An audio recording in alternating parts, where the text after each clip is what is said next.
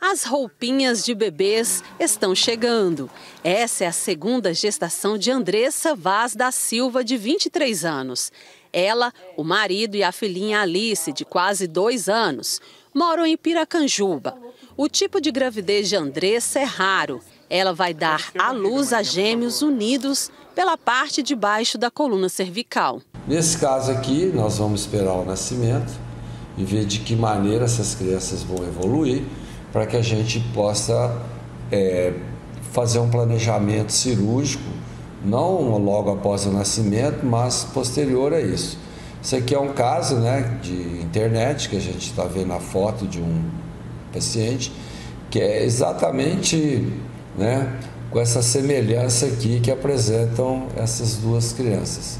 Embora seja um caso raro, Andressa e Luan estão tranquilos e preparando tudo para a chegada dos meninos, prevista para o mês de setembro. Eu acho que para todo mundo foi um choque, né?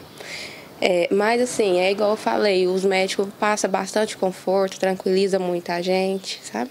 E é com o tempo, assim, você vai adaptando, sabe? Você vai pegando aquela. Não, vai ser fácil, a gente dá conta, assim, ainda mais por ser só pelo bumbumzinho, né?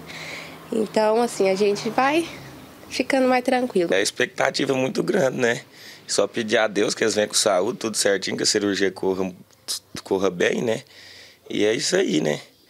Esperar eles virem para nós estar tá ajeitando as coisas, vendo como é que vai ser certinho, né?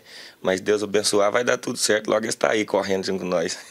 A Andressa descobriu que os bebês que estão crescendo dentro dela não têm órgãos em comum e isso é bom que oferece menos risco para eles. Ela está fazendo acompanhamento em Goiânia com o médico Zacarias Calil, que é especialista em cirurgia de gêmeos siameses. Não dá para definir de que maneira a cirurgia vai ser realizada, porque às vezes as nádegas estão unidas como essa aqui, né?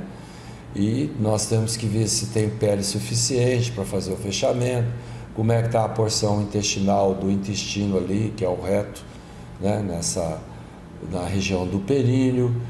São situações que envolvem também inervação, sistema arterial, venoso, para que tenham o mínimo possível de sequelas.